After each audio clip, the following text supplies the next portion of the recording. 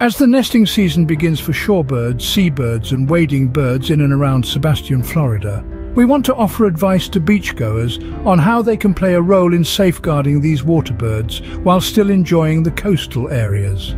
This period marks a critical time for many species of shorebirds and seabirds as they choose to nest directly on Florida's beaches.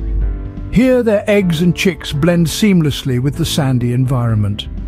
Wading birds like herons often select mangrove islands away from the shoreline for nesting. Given the importance of Florida's beaches and shorelines for the nesting of water birds, beachgoers have a significant opportunity to contribute to the preservation of these birds.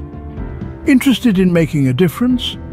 Here are some straightforward tips to be a friend to water birds. Tip number one, educate yourself before heading out. Look up if there are any critical wildlife area closures. When navigating by boat or on foot, keep an eye out for signs marking critical wildlife areas on the beach or nearby coastal islands.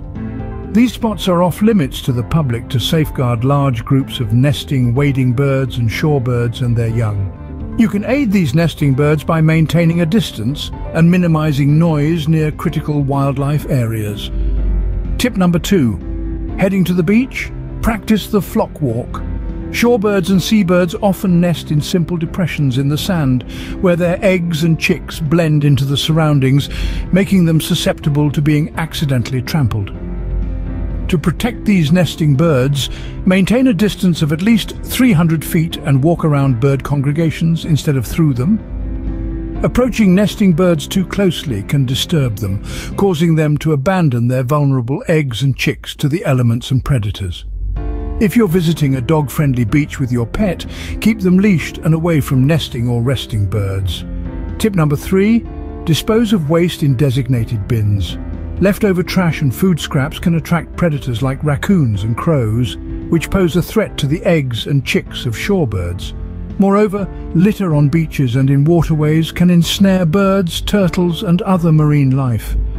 By properly disposing of garbage and removing personal items from the beach at the end of the day, beachgoers can support the well-being of nesting birds and other local wildlife. For anglers, it's crucial to correctly dispose of used fishing line to prevent harm to water birds, sea turtles and other marine creatures. And there you have, three tips on how you can help water birds on our beaches during nesting season. Coming up next is another great feature about Sebastian, Click the video on your screen to continue. I'm Arthur Rowan, reporting for Sebastian Daily.